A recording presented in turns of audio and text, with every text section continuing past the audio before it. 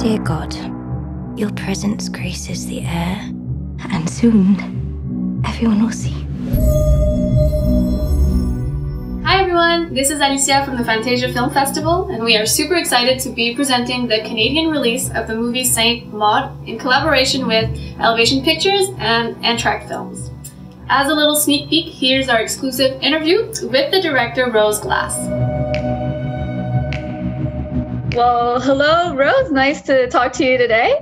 Uh, very happy to have you uh, on Zoom for a little interview about your new your new film, which we are super excited to be uh, presenting to all of Canada starting this week. You wrote and directed this film. It's your first feature, correct? Yeah. Um, so, can you just begin by uh, telling me more about the genesis of the project, how the story came about? I think it's an idea that I started coming up with just as I was finishing film school at the National Film and Television School in 2014. And then it took a few years sort of developing it and working on it in, in like my spare time before we got it properly in development with Film 4. And then, you know, we shot it in like 2018.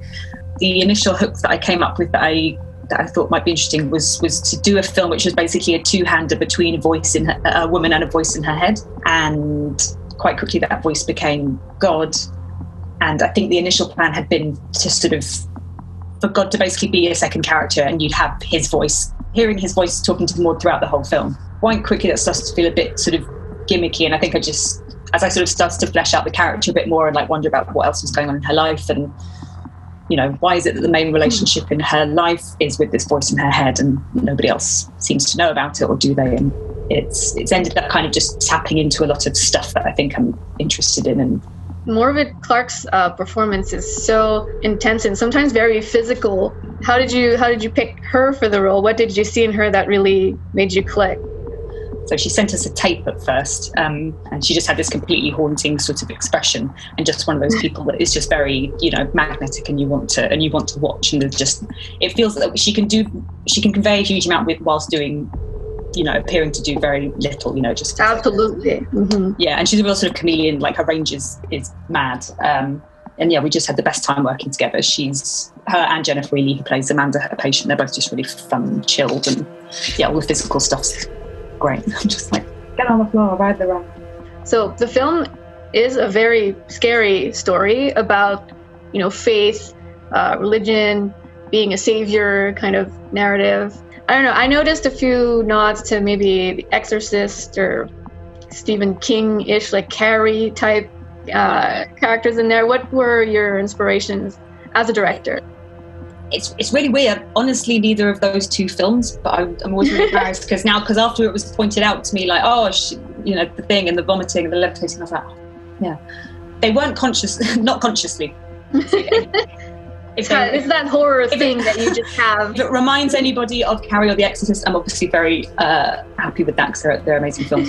for, for me, the stuff I was more I was thinking about a bit more consciously was the Repulsion, Rosemary's Baby, Through a Glass Darkly, The Silence, some sort of early Bergman films. Um, Chamber Piece, kind of quite contained, weird psychological dramas where, you know, pressure cooker kind of social situations between between people in these sort of confined spaces and I think I told Morfydd to watch most of those. Actually, maybe her, yeah, I think I gave her a list of films to watch just so her and Jennifer kind of had a rough idea of the sort of tone that the film would be in because I figured some of the stuff they have to do is a bit sort of silly hmm. and weird.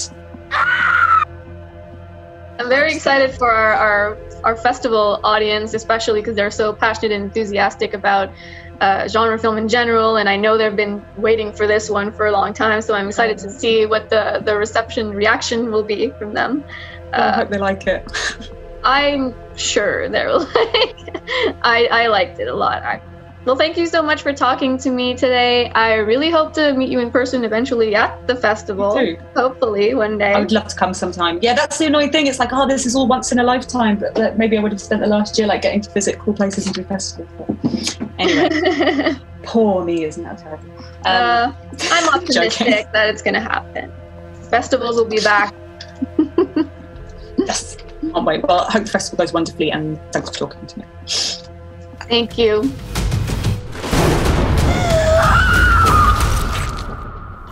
If I'm getting it all wrong?